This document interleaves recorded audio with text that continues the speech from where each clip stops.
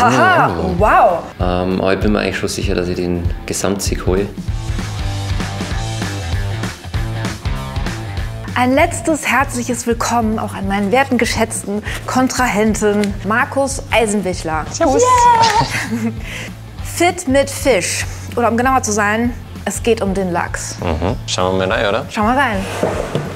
Eins, zwei, drei. Oh, haha, wow.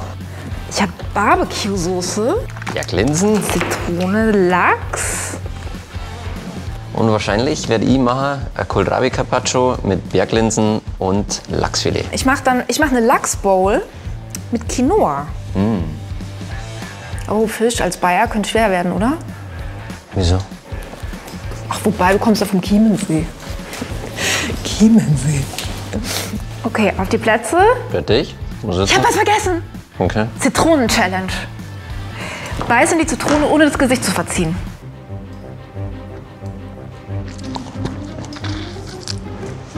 Schmeckt. Ja, jetzt mach. Ja, mach. Schmeckt der nicht so, ha? Ui, ui, ui.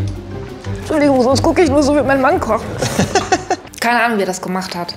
Ich glaube, der hat sich den Mund betäubt oder so.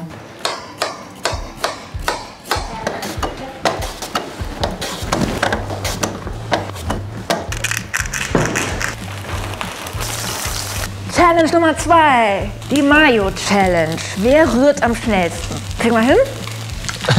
Schauen wir mal. Auf die Plätze, fertig, Mayo. Fertig. Ach Mann, Ich hab gewonnen. Mayonnaise.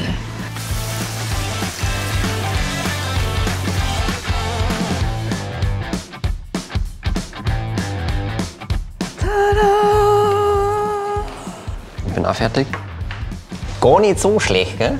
Du meinst eher was für Feinschmecker? Bei dir werden wir richtig satt.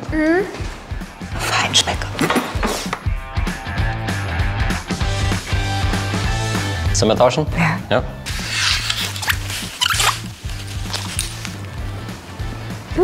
Ganz schön heiß. Das mit dem Kaltkochen habe ich noch nicht so drauf. Okay, beides ist gleichwertig, aber bei den Challenges war es halt besser. Aber wer zuletzt lachst, lachst am besten. Wenn ihr für uns abstimmen wollt, großes Finale, natürlich für mich.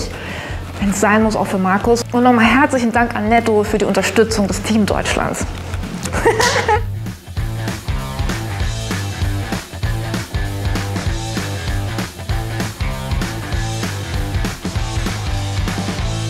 Tschüss.